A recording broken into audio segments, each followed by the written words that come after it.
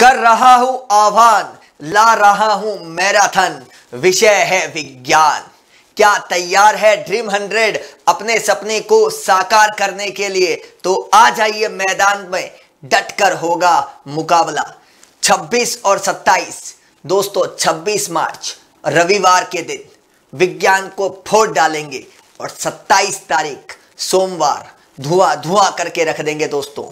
तो 26 और 27 को आरबीएसई बोर्ड की मैराथन क्लासेस होने वाली है ठीक सुबह 10 बजे। तो 10 बजे तैयार रहिएगा दोस्तों मैदान में उतरने के लिए और पेपर को फोड़ने के लिए और विज्ञान को धुआँ धुआँ करने के लिए दोस्तों।